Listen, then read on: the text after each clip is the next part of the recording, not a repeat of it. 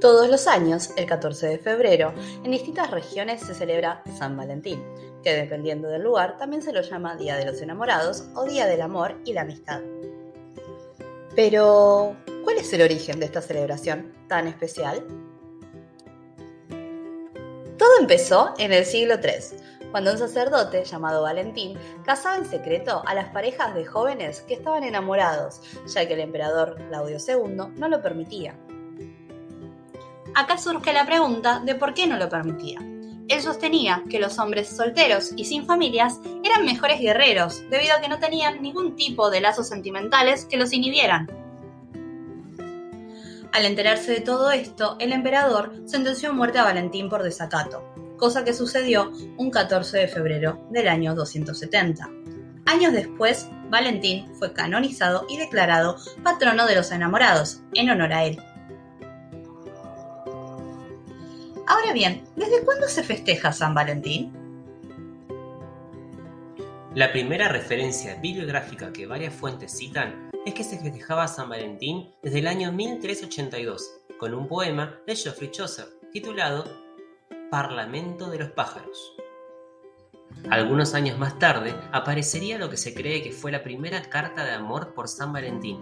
La misma fue escrita por el duque Carlos de Orleans, estando encarcelado, a su amada Ben de Armagnac.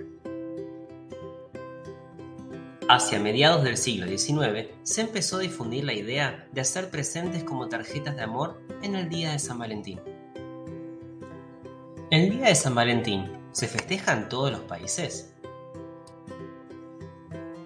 Si bien en la gran mayoría de los países lo festejan el 14 de febrero, hay excepciones, como por ejemplo Israel, que lo hace el 30 de julio, Brasil, que lo hace el 12 de junio, Bolivia el 21 de septiembre y Egipto el 4 de noviembre. Ahora veamos algunas curiosidades del Día de San Valentín. ¿Sabías que literalmente se puede estar loco de amor?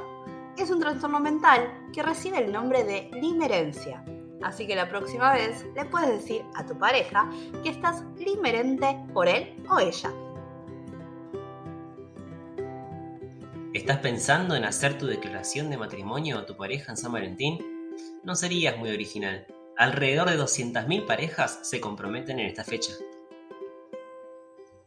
Sin embargo, si quieres que tu matrimonio dure para toda la vida, no organices tu boda ese día. Un estudio de la Universidad de Melbourne descubrió que los que se casan el 14 de febrero tienen un 21% más de posibilidades de acabar divorciándose. ¿Sabías que en Filipinas, para esta fecha, casi siempre se rompe algún récord entre parejas? Como por ejemplo el del beso más largo, que duró 58 horas y 35 minutos. Según las estadísticas, en marzo es el mes en el que más pruebas de embarazo se venden. ¿Será este el resultado del festejo en San Valentín? Aunque paradójicamente, esa fecha es el día en que más preservativos se venden en el mundo. En Estados Unidos, el 14 de febrero también se celebra el Queer Cologne, día para celebrar la soltería.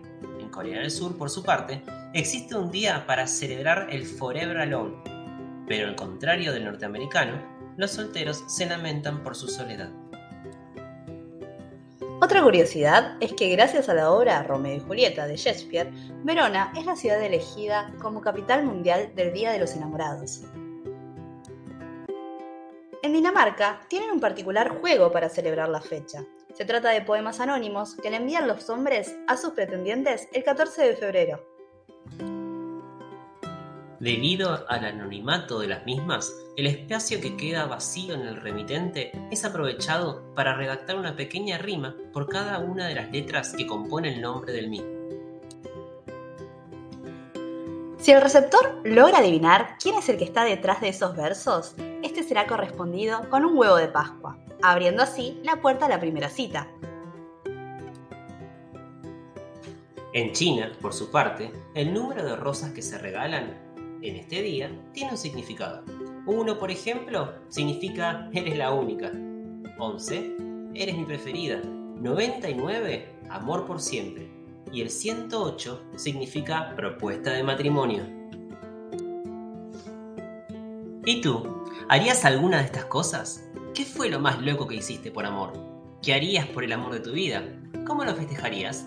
Déjanos tu comentario aquí debajo. Feliz Día de los Enamorados. Te desea Ensamble de Ideas. Hasta pronto.